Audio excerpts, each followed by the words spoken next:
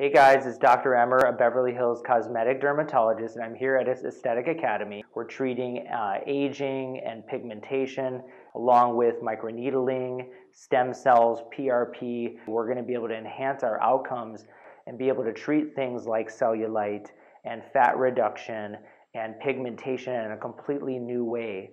The goal was to take these mesotherapy combinations and put them together with my protocols of using lasers and peels as well as body treatments to really enhance overall improvement in the face and body. So anyone that's looking to get this type of knowledge really has to look at Aesthetic World and Aesthetic Academy and work with professionals who give up their knowledge that they've obtained for many years because you will only get better outcomes.